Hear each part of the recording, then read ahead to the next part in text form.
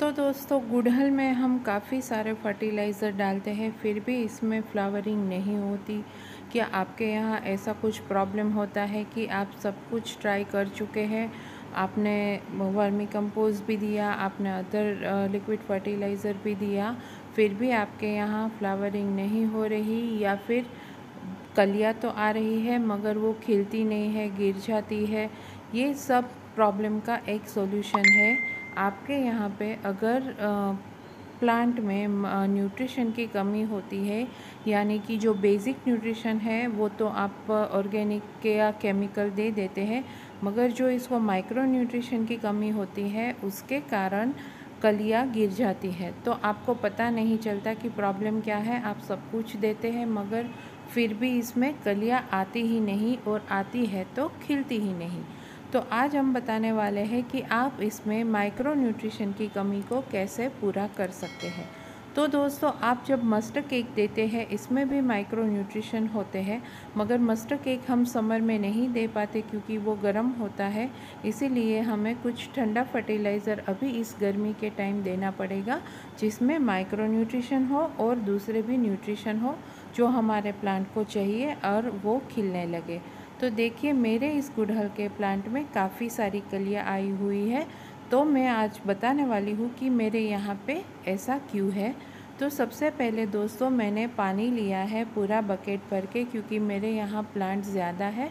अगर आपके यहाँ कम प्लांट है तो आप एक लीटर पानी में आठ और दस बूंद इसकी डाल के आप इसको दे सकते हो। मगर मेरे यहाँ प्लांट ज़्यादा है तो मैं ये पूरे बकेट में पूरा ढक्कन भर सीवीड फर्टिलाइज़र डाल दूँगी। तो हाँ दोस्तों, मैं बात कर रही हूँ सीवीड फर्टिलाइज़र के बारे में। तो सीवीड के फ़ायदे आपने सुने ही होंगे, काफ़ी सारे फ़ायदे हैं।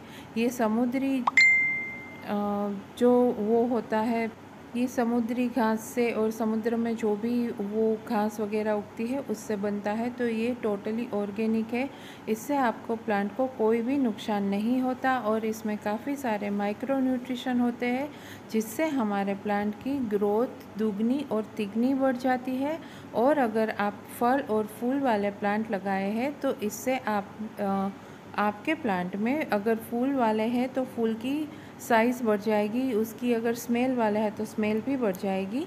तो इसके काफ़ी सारे दोस्तों फ़ायदे हैं। आपने काफ़ी सारे वीडियो में देखा होगा तो मैं ज़्यादा डिटेल में नहीं जाऊँगी। मैं आज आपको वही बताने वाली हूँ कि अगर आपके प्लांट में प्रॉब्लम है तो उसका सॉल्यूशन क्या है। अगर सी वीट के फर्टिलाइज़र के फ़ायदे आपको देखने हैं तो आप गूगल भी कर सकते हैं। तो दोस्तों देखिए, मैं अपने सारे प्लांट में ये दे, दूँगी ताकि मेरे सभी प्लांट हेल्दी रहे। तो आप देख सकते हैं, मेरी छोटी सी बालकनी है थ्री बाई थ्री की मेरी बालकनी है। फिर भी इसमें काफ़ी वेजिटेबल्स और फ्लावर्स के प्लांट मैंने लगाए हैं। तो सभी हेल्दी है, किसी में भी कुछ भी प्रॉब्लम नहीं है। जो फ्लावरिंग वाले हैं फ्लावर देते हैं और जो सब्ज़ी के मैंने प्लांट लगाए हैं, वो सब्ज़ियाँ देते हैं। तो अभी मैं दिखाऊँगी, मैंने यहाँ मेरी बालकनी में लौकी के प्लांट लगाए हैं।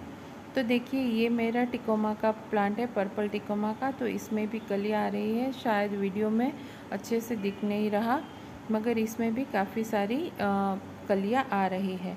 तो दोस्तों ऐसा आ, ऐसा है कि अगर आप एक फर्टिलाइज़र देंगे तो इसमें से सारे न्यूट्रिशन नहीं मिलेंगे तो आपको हर वक्त चेंज करके देना पड़ेगा। यानी कि हर पंद्रह दिन में अलग अलग फर्टिलाइज़र देंगे तो आपके पौधे की सारी रिक्वायरमेंट पूरी हो जाएगी और वो सब हेल्दी ग्रो करेंगे। तो देखिए ये मेरी लौकी की बेल है।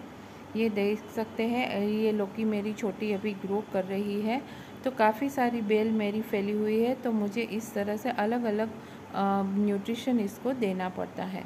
तो दोस्तों, आज के वीडियो में बस इतना ही। मिलते हैं नेक्स्ट वीडियो में। अगर आपको सी सीवीड फर्टिलाइज़र के रिलेटेड कुछ भी प्रॉब्लम हो या कोई भी क्वेरीज हो तो मुझे कमेंट में ज़रूर लिखिएगा।